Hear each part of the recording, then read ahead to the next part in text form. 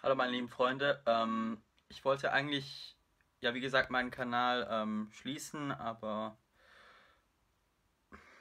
es gibt da gerade eine aktuelle Meldung, die mich ziemlich fertig macht. Und zwar der Notre Dame in Paris steht in Flammen.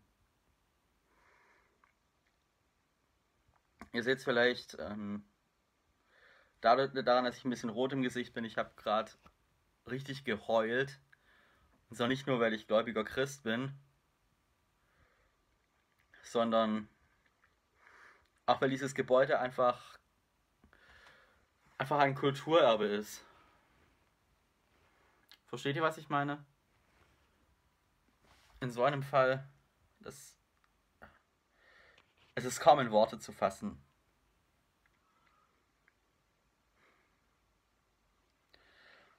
Ich hoffe bloß, dass niemand bei diesem Brand zu Schaden kam oder kommen wird.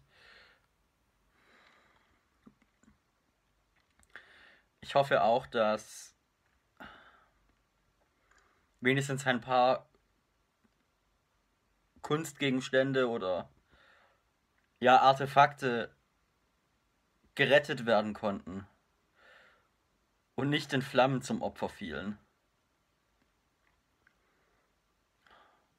Ist einfach schrecklich, so ein Gebäude brennen zu sehen. Gute Nacht.